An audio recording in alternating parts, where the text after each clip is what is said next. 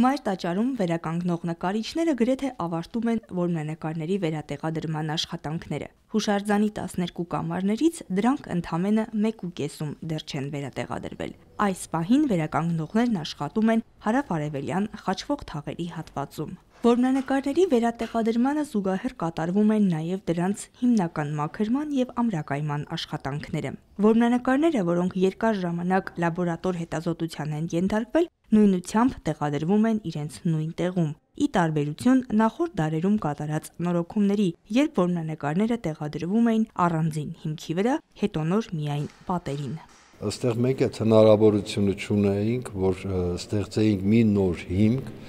քանի որ խաթարեր հուշարձանի չափման ծավալները։ Մենք հիմա ճիշտ որոշում կայացրեցինք, որ պետք է անմիջապես որմնանկարը հպվի պատին, քարին, որ պահպանի իր ամբողջ ծավալային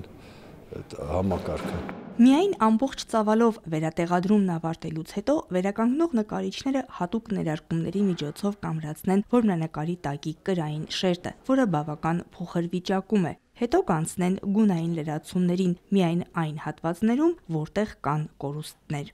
Ապամոնտաժման ժամանակ ի հայտ եկած որոշ որմնանկարներ, որոնք նկարվել են տարբեր դարաշրջաններում, տարբեր նկարչական ձեռագրով եւ այդքան էլ համահունչ չեն տաճարի ներկայիս գեղագիտական տեսքին, համապատասխան վերականգնում անցնելուց հետո կցուցադրվեն Մայրաթողի թանգարաններում։